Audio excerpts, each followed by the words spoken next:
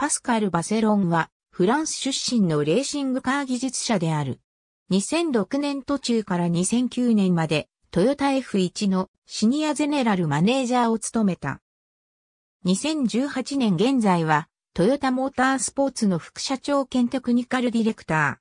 ー。1963年にフランスに生まれ、1985年にフランス国立航空宇宙大学を卒業。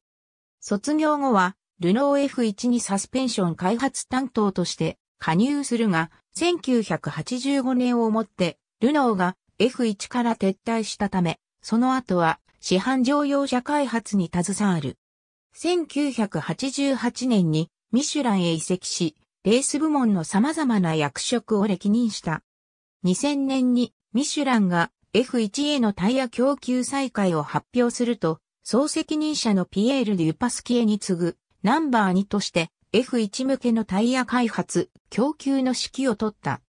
2005年に TMG に加入し、トヨタ F1 でシャーシュ研究開発部門の責任者を務めた。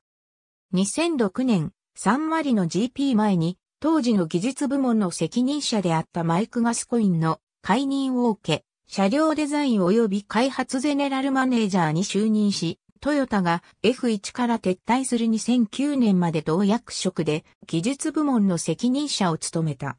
トヨタが F1 から撤退した2009年以降も TMG に在籍。2012年よりトヨタが FIA 世界耐久選手権に参戦するにあたり、プロトタイプレーシングカーの TS030、TS040、TS050、ルマンハイパーカーのグレーン010の開発に携わっている。ありがとうございます。